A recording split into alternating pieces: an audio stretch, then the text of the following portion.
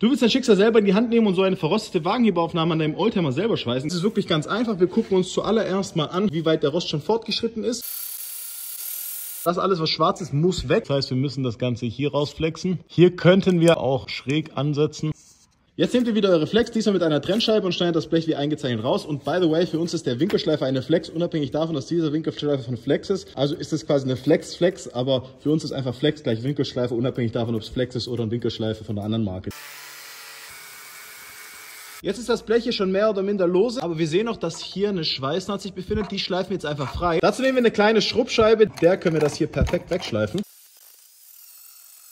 Das macht ihr so lange, bis ihr die ganze Schweißnaht weggeschliffen habt. dann sieht man hier nämlich den Übergang von dem Rohr zum Blech. Und dann könnt ihr das Ganze einfach easy peasy raushebeln. Warte mal, das ist noch hier gepunktet. Die Schweißpunkte sieht man eigentlich hier ganz deutlich. Sobald es aber verrostet ist, wird es ein bisschen schwierig und dann braucht man ein geschultes Auge. Ich sehe jetzt hier einen Schweißpunkt und hier. Dazu gibt es auch so spezielle Schweißpunktbohrer. Und hier ist noch der zweite. Und jetzt müsste das Ganze eigentlich locker flockig raushauen. Heiligsblechle. Hier sehen wir nochmal die Schweißpunkte, die wir tatsächlich auch exakt getroffen haben. Nachdem wir das verrostete Blech hier schön rausgenommen haben, geht es jetzt weiter. Das Ganze kann man natürlich beliebig erweitern und auch komplexere Stücke rausschneiden, wie zum Beispiel hier. Das ist auch noch nicht zu 100% perfekt. Wir müssen gucken, dass überall ungefähr ein Millimeter Luft zum Schweißen ist. Das heißt, hier müssen wir zum Beispiel noch ein bisschen abschleifen. Aber vom Grundprinzip passt es schon mal sehr gut. Reparaturblech in dem Fall ist es vom Cabrio und Ganze zwei Millimeter dick. Deswegen lässt sich das Ganze nicht so leicht draufhauen. Wir werden das trotzdem jetzt hier mal versuchen, so ein bisschen drauf zu klopfen natürlich gar nicht geht. Deswegen zeigen wir es jetzt einfach mal grob ab. Und flexen das Ganze jetzt lieber ein bisschen größer aus. Zu viel ist besser als zu wenig. Und jetzt können wir anfangen, es hier einmal richtig zu positionieren und zu gucken, wo wir überall etwas abtragen können. Nicht wundern, hier sieht es jetzt aus, wie wenn eine riesen Lücke da ist, aber es sitzt ja noch nicht mal richtig. Das heißt, wir fangen jetzt mal an, die linke Flanke hier ein bisschen abzutragen. Über die Arbeitsweise hier kann man sich natürlich streiten. Oh, das war heiß. Ich würde es auch nicht empfehlen, so zu machen. Wir machen es aber jetzt gerade so. Ich ziehe dann hier immer ganz gerne den Rand nochmal mit dem schwarzen Stift nach, um zu sehen, wie viel ich hier abtrage.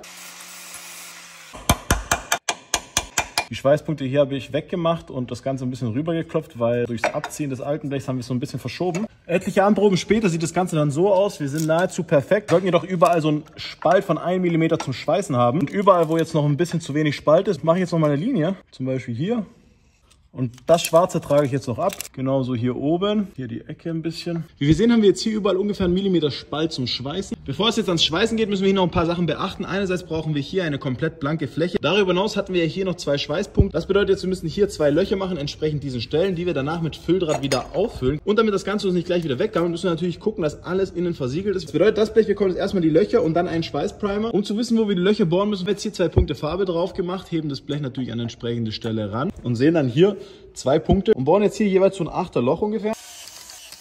Bevor es hier weitergeht, entgraden wir jetzt einmal aber alle Kanten hier, innen wie außen.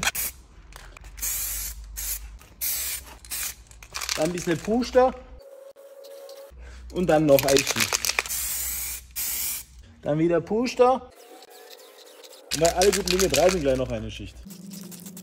Aber geschweißt wird, ziehen wir sie natürlich gleich wieder ab. Solange das jetzt hier schön austrocknet, kümmern wir uns hier einerseits darum, das alles blank zu machen und auch hier mit der Schweißpunkt auch hier dann hält. Dann gibt es hier noch eine bitumenähnliche schweißbare Grundierung, die genau hier aufgetragen wird aus blanke Blech. Nachdem die Rostschutzgrundierung hier jetzt ausgetrocknet ist, haben wir hier auch noch mal etwas aufgetragen. Das Blech wird jetzt hier einmal fest gepunktet und dann einfach durchgeschweißt. Aua!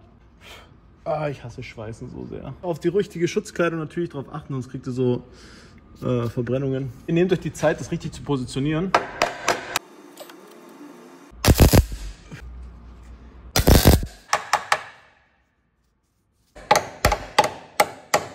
Und sobald wir das Ganze angepunktet haben, können wir das Ganze durchschweißen. Davor legen wir aber noch den richtigen Arbeitsschutz an. Einmal eine Schweißmaske, eine Schweißjacke und natürlich Schweißhandschuhe. Let's go!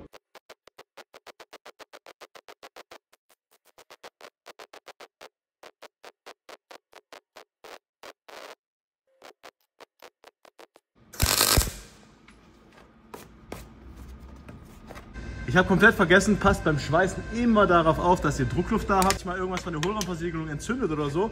Und natürlich ein Feuerlöscher.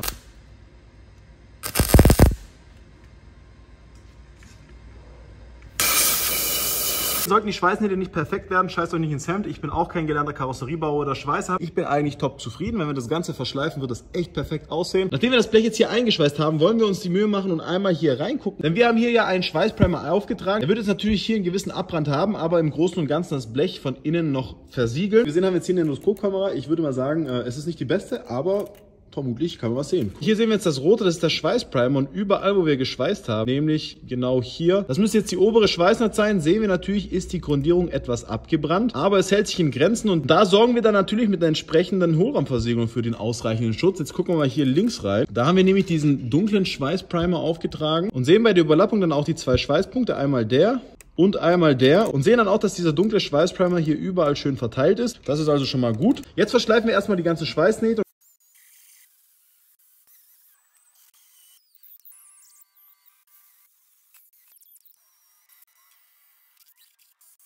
Seid euch nicht zu streng, wenn es keine perfekten Kanten gibt. Wie wir sehen, hier haben wir eine kleine Wulst. Ist aber auch egal, da das wirklich im nicht sichtbaren Bereich ist. Das Ganze bekommt jetzt hier noch eine Rostschutzgrundierung, besser gesagt eine Epoxidgrundierung und von drinnen eine Hohlraumversiegelung. Man könnte das auch noch beilackieren mit dem ganzen Schweller oder nur partiell und auch noch einen Unterbodenschutz auftragen. Wir tragen jetzt hier mit einem Pinsel ganz banal Epoxidgrundierung auf. Bleibt euch überlassen. Wir haben eigentlich so ganz gute Erfahrungen bisher gemacht. Wie gesagt, hier ist es auch nicht perfekt. Man sieht jetzt hier noch eine leichte Kante und hier. Jetzt fehlt nur noch der Hohlraumschutz. Dazu könnt ihr dann mit so einer Hohlraumsonde hier die Hohlraumkonservierung Konservierung einarbeiten. Das machen wir jetzt noch nicht, weil wir noch hier vorne schweißen müssen. Am besten ist eigentlich den ganzen Schweller zu fluten. Und dann bleibt mir nur noch zu sagen, 100 Jahre Garantie.